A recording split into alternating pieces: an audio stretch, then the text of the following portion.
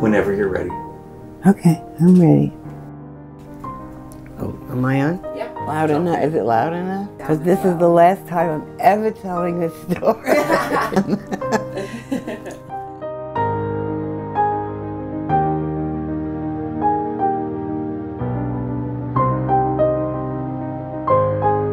I believe that inspiration is the key to making art.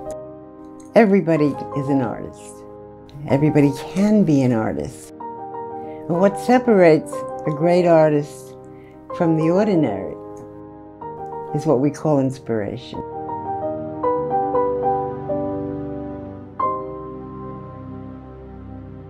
I was born in 1936 in Bronx, New York, and we were just coming out of the Depression, and my father had made himself a pushcart, and he went every morning to market and filled up the pushcart with fruits and vegetables. Poor men worked day and night, and they were struggling to make a living and provide for their children. But they didn't have time to care for their children. And so, in that sense, I felt that I was abused. Not so much deliberately, but because my mother was sick. My father was overworked. And how do you overcome that kind of, of abuse when you don't have anybody to guide you? Well, what I did was I got a shoebox and I drew a mother and a father and a daughter and a son and and I colored them and I cut them out and I put them in my shoebox. And whenever I'd had too much, I would bring out my shoebox and play with my new family. So I found my away place by drawing and painting. And of course, I was very lucky because I had a teacher who recognized my talent. So the teacher took me to the Art Students League, which is a very famous liberal art school in New York City in Manhattan. And many of the great artists taught there, and some of the great artists went there to paint and be mentored. At the age of nine, they put me in a children's class on Saturday where you had to do still lives. And I did a Michelangelo statue, and she said, okay. She says, no point keeping you in the children's class. I'm going to send you to the life class. And that's my first experience drawing. Then I got into the High School of Music and Art. And I scored so high on the test that they had to revamp their entire curriculum because they didn't feel it was adequate for what I was bringing. They wanted me to do some childlike stuff, and I was way beyond that already, you know. I didn't stay very long. I did a year at Music and Art, and then I fell in love and got married and left. And I got pregnant and had a beautiful child. So here I am at 15 now, a mother, wondering what I'm supposed to do next because this wasn't exactly what I had envisioned for myself. Marriage lasted about two years, and then we would just sit around being terribly bored with each other, not a clue what to do next. So we decided to separate. And I remember my mother coming over to my house and saying, you know, where's your husband? I said, Well, he's gone. Gone where? Just, you know, gone. It's over.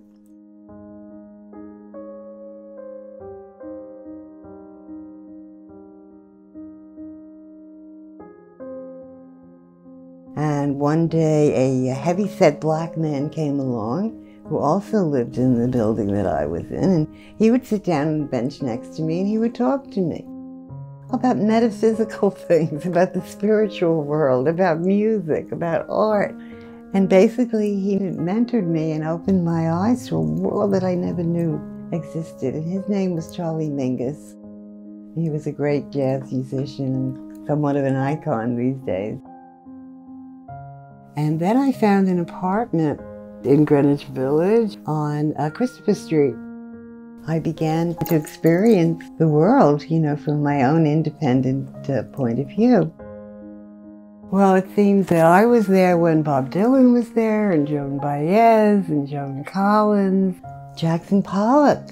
And Lee Krasner was with him, and I knew her very well, and uh, Willem de Kooning. Just everybody. Just finding their way, and it was the kind of thing like, what are you going to do when you when you grow up and become famous?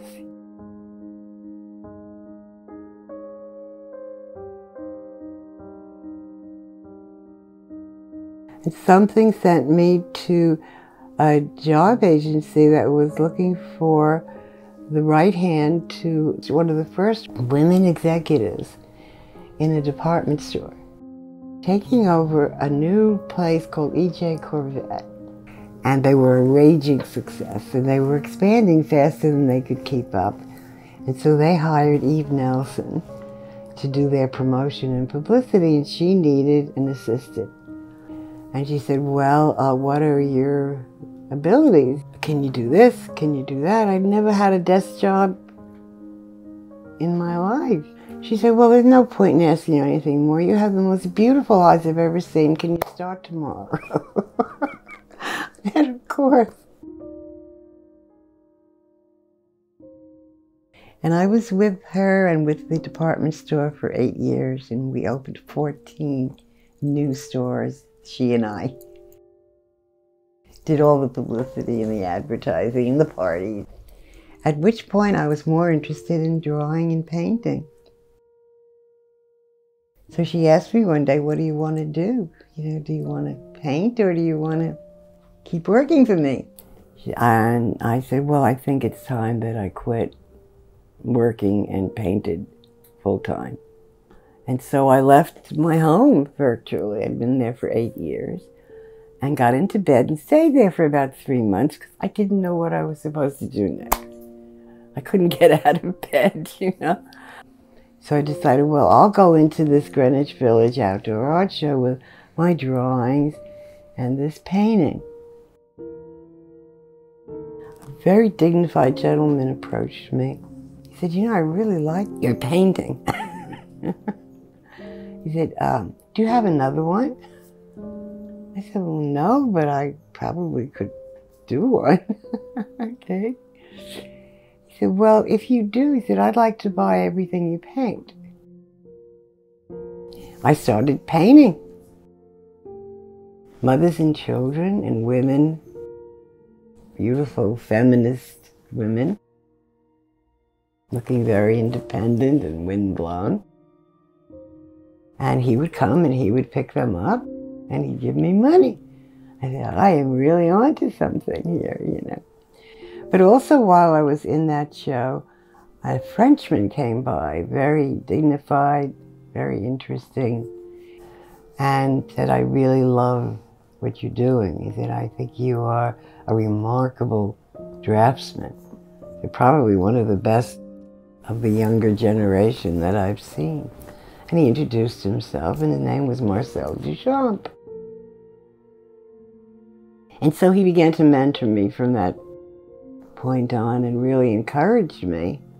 He taught me something that made it all the difference in my life, literally transformed how I thought about the making of art, and that was adding other dimensions such as time and space.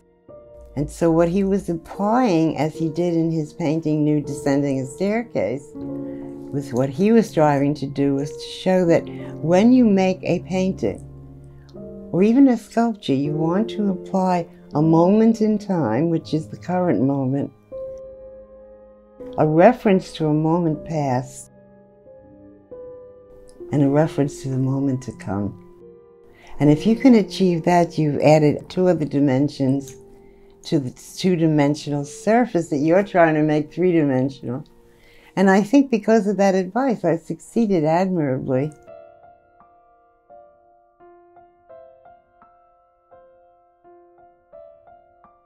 At that point, I met my next husband. His name was Ed.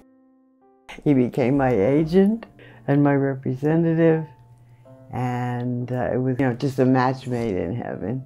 And we were together 40 years. And I told Ed, that these gentlemen had offered me this deal in Los Angeles, and then this other guy wanted to offer me a deal, and I didn't know what I was supposed to do. And he made a phone call. The next thing I know, we're in in LA. And I did all these editions of lithographs on this amazing press that Lynton Kistler had built. They were all individually signed and numbered by me. And then when they were done, the lithograph image was removed, never to be printed again. And that makes them very, very rare.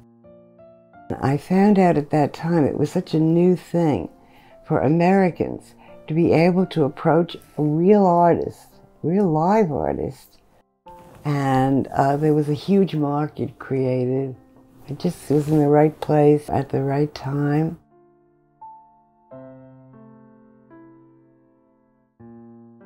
Anyway, after we moved back to New York, we opened a gallery on Madison Avenue, and I was the first woman to ever have her own gallery on Madison Avenue. I had a tremendous celebrity clientele. In addition to commissions to paint Marilyn Monroe and uh, Elizabeth Taylor and Rock Hudson, I also painted Martha Raye. So Martha Raye was a comedian who was very friendly with Bob Hope, and she became my son's godmother, and she had a huge collection and one of my dearest fans and devotees. Jackie Kennedy used to walk past my gallery all the time, and uh, what I did was I put a piece of chiffon that was hand painted in the window. And one day, Jackie Kennedy came in and she asked me to design a dress for her to go to a ball. I started to get noticed by the society columnists and the fashion columnists. And one day, New York News did a, this article, which was my first, when I opened the gallery in Madison Avenue. And I am wearing a hand painted jacket with this same image hand painted on it, making an art gallery out of your closet by painting on clothes. A manufacturer came, turned out that he had wedding dresses that he would get orders for and that he'd manufacture them and not all of the ones he manufactured sold. And he brought them to me, brought me maybe 80 dresses, and uh, wanted me to figure out a way to paint them. And he put them in his showroom, and the dress sold out. He started selling it all over again. And they started featuring them in all the newspapers with my name, and I signed every dress, mind you. So then I decided was time I created my own collection. Charles James, who's in that book, was one of the greatest designers, and he had, he was mentoring me. And he knew all the tricks of the trade and all the little details the tailors need to know, and how to raise the shoulders and how to lift the waist and the lower the waist in the back, and all these little things that you need to know. And I observed those in the collection that I made. So when the buyers looked at the garments, they were extremely satisfied because all those little French seams and all these little details. And I designed a line of crepe de chine silk separates. And I was very good friends with Jane Russell, and we introduced my collection at the big ball. It's called WAIF, W-A-I-F, ISS International. Had all the fashion editors there, and they started featuring them in all the newspapers with my name and we started getting, working for Sassoon Jeans and Gloria Vanderbilt shirts and Hathaway and everybody you could think of, Oscar de la Renta. And we had 600 artists eventually working for us, copying the designs that I originated.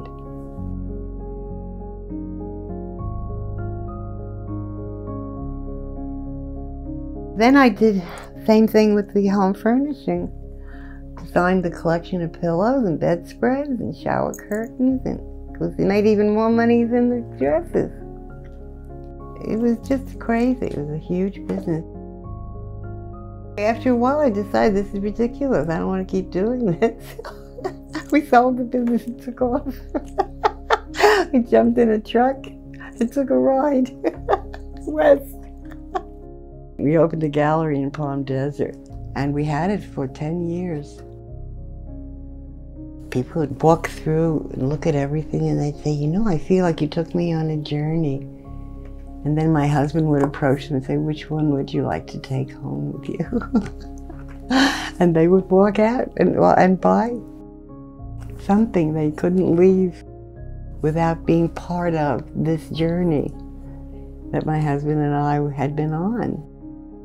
For whatever the reason, people who collected my work never put it back on the market. They loved the work and it became part of their their home and part of their family and part of something they really loved and cherished. It wasn't easy being a, an artist the, in those times. Being a, a woman artist was even harder.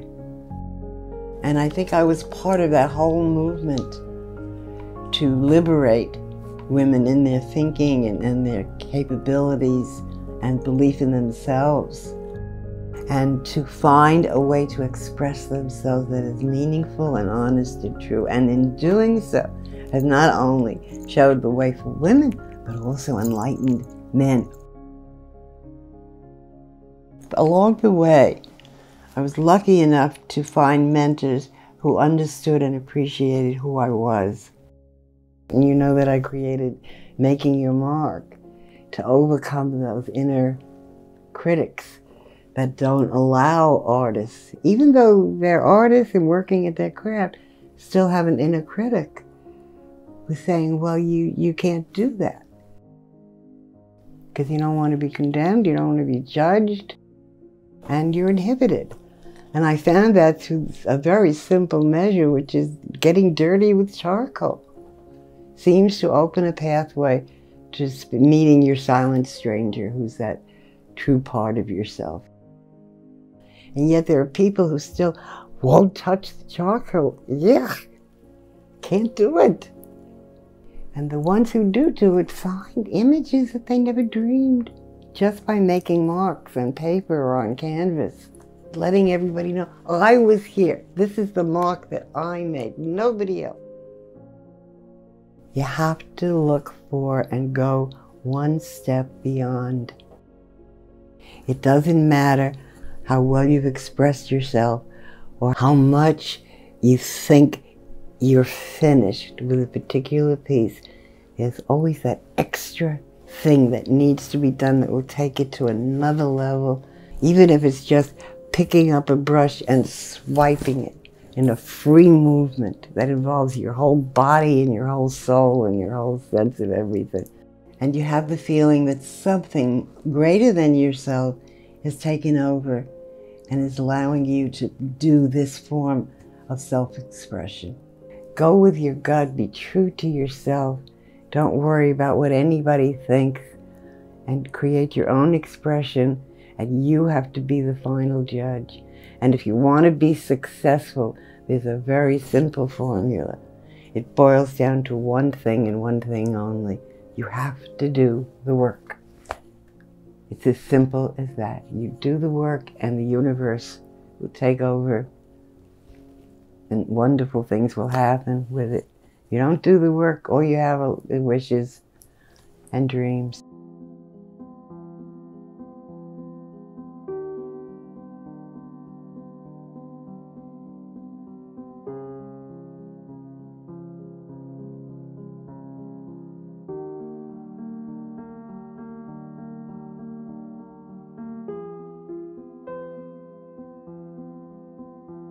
And I was very lucky because I had a husband who not only represented me, but he, under, he wasn't competitive with me. And he understood that I was given a gift. And with that gift comes an obligation.